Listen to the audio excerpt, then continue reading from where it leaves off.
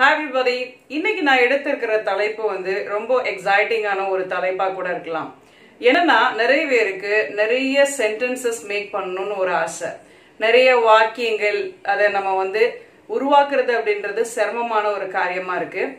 நம்ம இன்னைக்கு பார்க்கக்கூடிய ஒரு ரூல் என்ன அப்படின்னா ஐ டு நாட் அப்படின்றதுல நம்ம ஸ்டார்ட் பண்ணி அதில் நிறைய விஷயங்கள் நம்ம வந்து ட்ரில் கொடுக்க போகிறோம் இது நீங்கள் எப்பயுமே அதிகாலை மார்னிங் டைம் நீங்கள் எடுத்தீங்க அப்படின்னா கண்டிப்பாக இது வந்து ரொம்ப இஃபெக்டிவாக இந்த ட்ரில் இருக்கும். நீங்கள் சூப்பராக இங்கிலீஷில் பேசுகிறதுக்கும் ஒரு 200 அல்லது முந்நூறு நானூறு சென்டென்சஸ்க்கு மேலே நீங்களே உருவாக்கக்கூடிய திறன் உங்களுக்குள்ள உருவாக்கக்கூடிய ஒரு ஆக்டிவிட்டின்னு கூட சொல்லலாம். இதை நீங்க டெய்லி அதிகாலையில் எந்திரிச்சு ஒரு ஹாஃப் அன் ஹவர் பண்ணி பாருங்க. Definitely it will be very useful video for you இப்போ பாருங்க நம்ம ஃபர்ஸ்ட் பார்க்கக்கூடிய ஒரு விஷயம் என்ன அப்படின்னா if you are not sure நீங்கள் உறுதியா இல்லாதபடி இருந்தால் அல்லது if you don't have knowledge of opinion on the particular topic ஒரு டாபிக்ல உங்களுக்கு ஒப்பீனியன் அதாவது இதை பற்றி எனக்கு ஒன்றுமே தெரியவில்லை இதை பற்றி எனக்கு கருத்து எதுவுமே தெரிவிக்க இல்லை அப்படின்னு நீங்க இருக்கிற பட்சத்துல நீங்க பயன்படுத்தக்கூடிய ஒரு விஷயம் ஐ டோன்ட் நோ கடுத்து இன்னொரு ரூல் இருக்கு அதை நீங்க நோட் பண்ணிக்கங்க. What to I don't know what to இப்போ சில பேர் சொல்லுவாங்க வாட் டு அடுத்து என்ன யூஸ் பண்ண? வேர்ப் ஒன் நீங்கள் base form verb one use பண்ணிகிட்டே வாங்க. நீங்கள் I don't know what to verb one I don't know what to verb one இதுதான் நீங்கள் யூஸ் பண்ண போகிறீங்க இதை வச்சு நீங்கள் கிட்டத்தட்ட ஐநூறு சென்டென்சஸ்க்கு மேலே உங்களால் மேக் பண்ண முடியும்.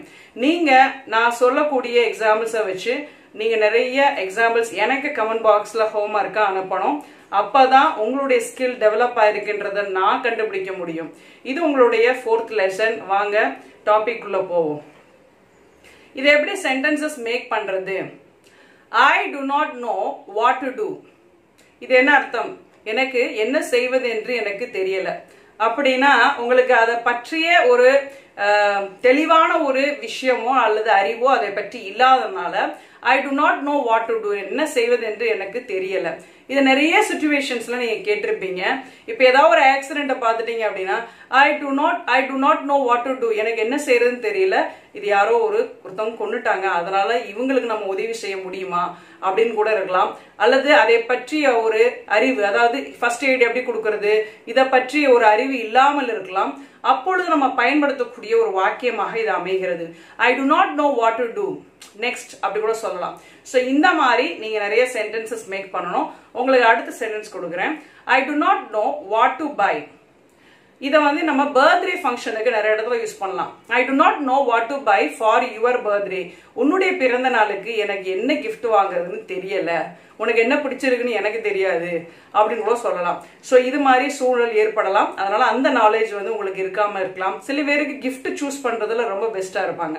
ஸோ அந்த மாதிரி நீங்க சென்டென்ஸ் நீங்க வந்து நீங்க இந்த சென்டென்ஸை வந்து அந்த மாதிரி சுச்சுவேஷன்ஸ்க்கு நீங்க யூஸ் பண்ணிக்கலாம். அடுத்து I do not I do not know what to say எனக்கு என்ன சொல்றதுன்னு தெரியல. இது எப்படின்னா ஏதாவது ஒரு சுச்சுவேஷன் நீங்க யோசிச்சு பாருங்களேன்.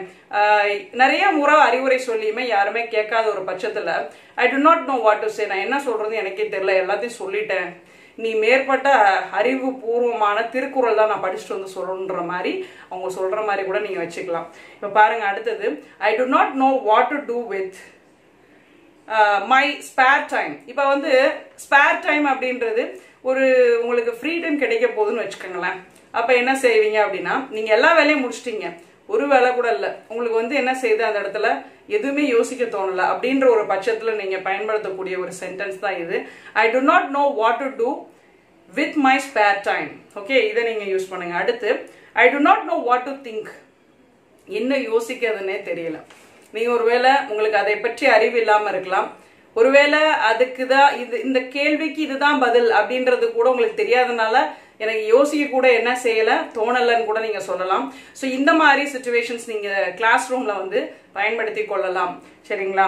அடுத்து I do not know what to order சாப்பாடு இப்போ நீங்க ஒரு கடைக்கு போறீங்க அப்படின்னா ஒரே சாப்பாடு தான் அங்கே சாப்பிட்டுட்டு என்ன இது, எதையாவது ஆர்டர் பண்ணுங்கப்பா அப்படின்ற ஒரு நீங்க வந்து ஷியோராகவே இல்லைன்னா சொல்லலாம். எனக்கு இன்னைக்கு இதுதான் சாப்பிடணும் அப்படின்னா இதை சாப்பிடுவீங்க. நீங்க இதை சாப்பிட வேணாம் நான் வந்து எப்பயும் போல சாப்பிட்றது தானே எதையாவது ஆர்டர் பண்ணுங்க அப்படின்னு சொல்லும்போது I do not know what order எனக்கு என்ன ஆர்டர் பண்ண தெரியல. நீங்களே ஆர்டர் பண்ணிருங்க அப்படின்னு சொல்லலாம். ஸோ இந்த மாதிரி நிறைய சென்டென்சஸ் நீங்க மேக் பண்ணணும். இது நான் கொடுத்தது five sentences with different situations நீங்க நிறைய சுச்சுவேஷன்ஸ் நீங்க யோசிச்சு நீங்க எனக்கு சென்டென்சஸ் அனுப்புறதா உங்களுடைய ஃபோர்த் லெசன் ஸோ இந்த லெசன்ஸ் எல்லாம் நீங்க ஃபாலோ பண்ணாதான் சீக்கிரமா இங்கிலீஷ்ல பேச முடியும். Follow and subscribe to my channel என்னுடைய சேனல்ல நீங்க சப்ஸ்கிரைப் பண்ணிட்டு கூடவே ஹிட் த பெல் ஐகான் அந்த பெல் ஐகானை நீங்க பிரஸ் பண்ணல அப்படின்னா நோட்டிபிகேஷன்ஸ் உங்களுக்கு வராது. அப்புறம் நீங்க ஏதாவது ஒரு கிளாஸை மிஸ் பண்ணிடுவீங்க அதனால மறந்துடாம பெல் ஐகானை ஹிட் பண்ணிக்கங்க. தேங்க்யூ ஃபார் வாட்சிங் பை டேக் கேர்